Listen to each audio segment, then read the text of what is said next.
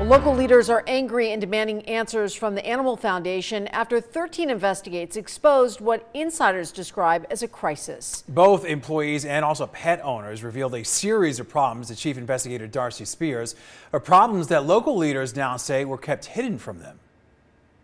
My little girl Suki is 13 years old and she's a rescue. North Las Vegas Mayor Pro Tem Richard Cherchio was a dog man long before he became a councilman.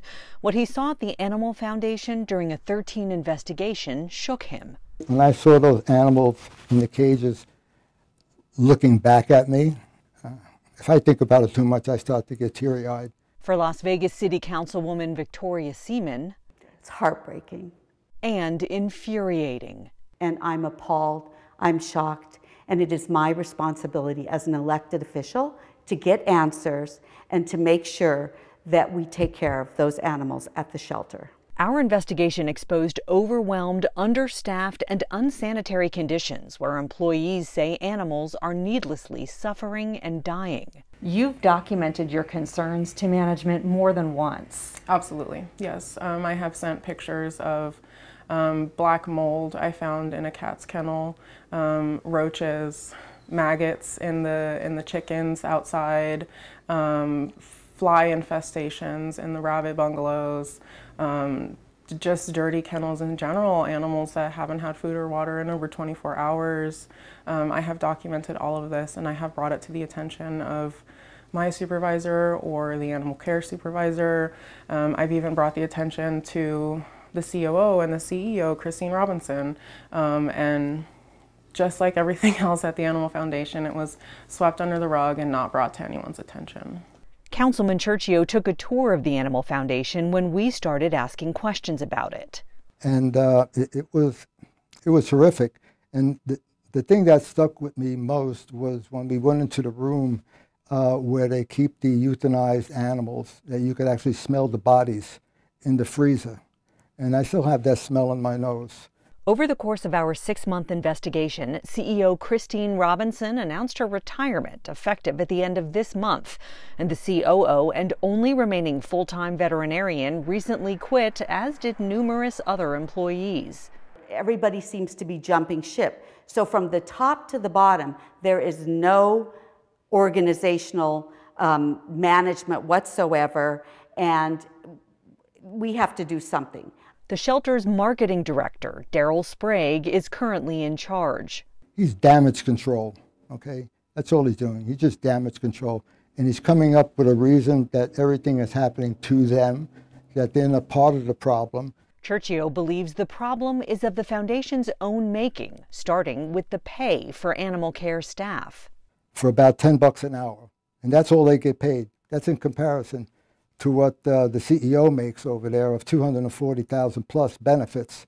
Uh, I don't know how, uh, be quite frank with you, uh, how people could sleep at night knowing that they've allowed, they've enabled in some fashion or another this thing to grow to the proportion that it is right now the Animal Foundation continues to deny all our requests for on camera interviews. The Foundation tells 13 Investigates the shelter is working quickly to improve the treatment and care of lost and abandoned animals by filling open positions, implementing new cleaning protocols, and utilizing community partners to help treat injured animals as they recruit more veterinarians. I don't buy it. And I think at this point, They've had problems for a long time, from what I'm understanding with your report. Why didn't they come to the city? Why didn't they go to North Las Vegas or the county for help? They never said, We're in crisis, we're losing people. Never. Never. Why do you think? We're going to get to the bottom of it, Darcy. They get approximately $5 million a year between the three jurisdictions, meaning Las Vegas, the county, and ourselves, which is taxpayer money, to do the right thing. And it's not an easy job. It's definitely not an easy job. But you need to reach out and communicate with us if you're having a problem. And that's not happening. Of particular concern to both council members is the lack of oversight. As we exposed, City Animal Control had not done routine inspections at the shelter since 2017 and only started scheduling visits this summer after we began investigating. So what's wrong with that picture? Everything. And I've asked for a full investigation and a full audit, and I won't rest until we get one. During our initial investigation, the Animal Foundation claimed we are complying with our contracts. What do you make of their claim that they're in no way violating any provisions of their contract? Mm, I think they're living on another planet. We're not looking to harm TAF. We just want them to do their job. Simple as that. And if they can't do their job, they need to let us know and get out of the way. At Wednesday's City Council meeting, Councilwoman Seaman said it's time for action. I feel like we may require a third party to do an in independent investigation of the operations at the foundation in addition to our own investigation and also modifying our agreement with the foundation to include representation by the city on their board of directors. The foundation invited national expert Dr. Kate Hurley of the UC Davis Shelter Medicine Program to assess shelter conditions.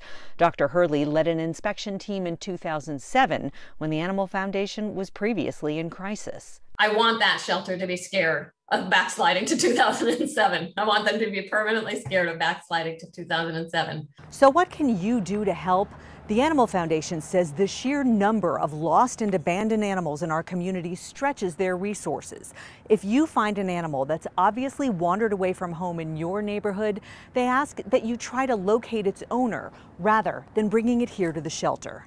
But if they're not dangerous and bringing it in is like, it's going to put the whole system in jeopardy, like that does not make that bad choice of like either you got to use a nicer space or you're going to have disease run rampant in the facility. Also, make sure your pets are tagged and have a registered microchip so they can be quickly returned to you if they get lost.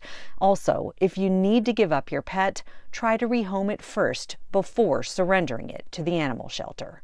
The Animal Foundation's full statement is on our website at ktnv.com. We will be keeping close tabs on the city's investigation and audit as we continue to report on everyone's efforts to improve conditions here at the shelter. Darcy Spears, 13 Investigates.